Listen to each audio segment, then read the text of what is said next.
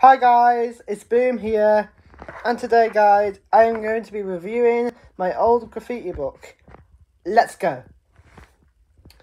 Okay, so as you can see here, that's my old graffiti. See 2020 on there. I was testing out my black Posca pen with this paper. And I got this because I used a, gold marker. It says there on the date. Oh, and I screenshotted uh, a graffiti piece and coloured it in because they forgot to do the rest of them. So, yeah, I did it for it. So, yeah. I think this is somewhere in Bristol. Oh, yeah. Uh, I've done that in 2020 again.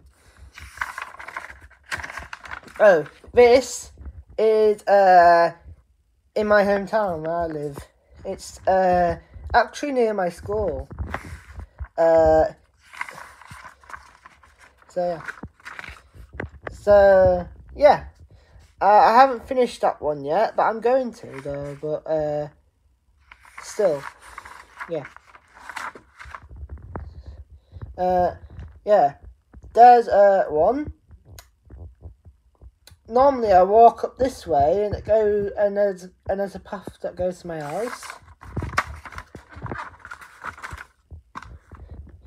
Uh, same spot again, and same one again. Hold on, I'm just going to put my phone somewhere. Just wait.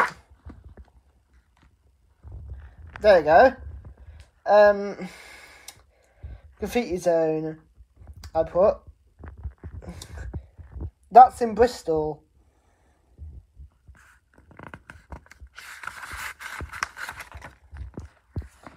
And I've done one here, as you can see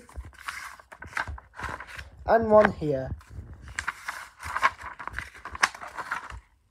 So, yeah, I was a beginner.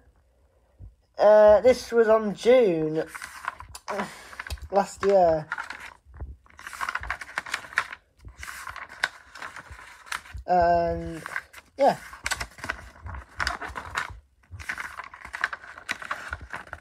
Ah. And I just wrote, I wrote that for no reason. I was bored. Uh, I don't know why, but ah, yeah. You see those drips there? That's uh, my pen broke, I think, because um, it was dripping out. So yeah. Make sure you subscribe for more graffiti content. Adios and have a good day.